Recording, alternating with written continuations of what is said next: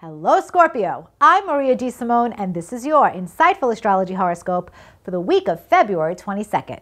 Scorpio, on Monday, a full moon will fall in your 11th house, and it looks to me like one of your greatest hopes and wishes is about to come true. Yes, the wishes that you made several months ago are coming true now. This is truly a time for you to see that happen.